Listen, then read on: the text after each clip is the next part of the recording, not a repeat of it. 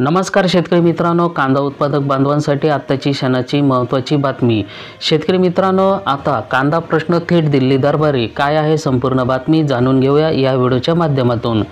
तर शेतकरी मित्रांनो कृषी उत्पन्न बाजार समितीच्या आवारामध्ये नाफेड आणि एन सी एफ यांनी थेट शेतकऱ्यांकडून कांदा खरेदी करण्याबाबतचा निर्णय घेण्यासाठी दिल्ली ते एकोणतीस सप्टेंबर रोजी बैठक घेऊन योग्य ते निर्णय घेण्यात येईल अशी गवई केंद्रीय वाणिज्य मंत्री पियुष गोयल यांनी दिली. नाशिक जिल्ह्यातील कांदा व्यापाऱ्यांना पुकारलेला बंदच्या पार्श्वभूमीवर सह्याद्री अतिथीगृहामध्ये आयोजित केलेल्या बैठकीत ते बोलत होते. कांदा उत्पादक शेतकरी व्यापाऱ्यांसह ग्राहकांच्या वर्गाचे हे हिताचं रक्षण करण्याचं राज्य शासनाचा सर्वतपेरी प्रयत्न आहेत.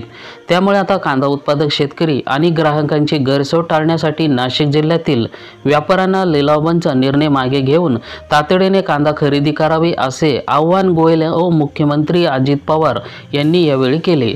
केंद्र शासनाने नाफेड आणि एन सी एफच्या मार्फत दोन हजार चारशे दहा रुपये प्रति क्विंटल दराने दोन लाख मेट्रिक टन कांदा खरेदीचा निर्णय घेतला होता.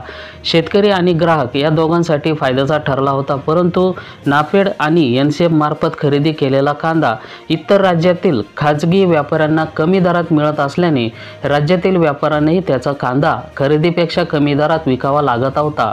यामुळे आता व्यापाऱ्यांना नुकसान होऊन लागल्याने त्यांनी नाशिक जिल्ह्यातील कृषी उत्पन्न बाजार समितीमधील कांद्याचे लिलाव बंद केले होते. त्याचा फटका कांदा उत्पादक शेतकऱ्यांना बसत होता.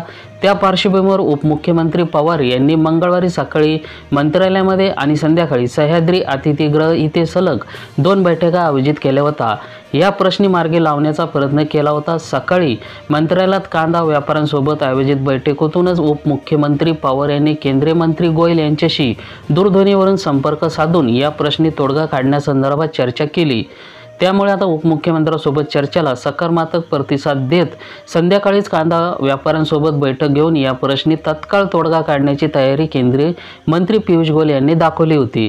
त्यानुसार संध्याकाळी सह्याद्री अतिग्रह इथे ही बैठक झाली. उपमुख्यमंत्री पवार यांना राज्यातील कांदा उत्पादक शेतकरी कांदा खरेदी व्यापारी आणि ग्राहक या सर्वांच्या हिताचं रक्षण करण्यासाठी राज्य शासन वचनबद्ध असल्याचं सांगितलं जात आहे. तर शेतकरी मित्रांनो आता येणाऱ्या एकोणतीस सप्टेंबर रोजी बैठक घेऊन योग्य तो निर्णय घेण्यात येईल अशी गवाही केंद्रीय वाणिज्य मंत्री पियुष गोयल यांनी दिलेली आहेत.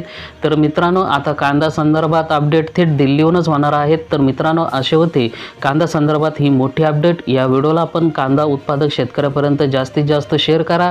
चॅनलवर जर तुम्ही पहिल्यांदाच आला असाल तर लगेच चॅनलला सबस्क्राईब करा.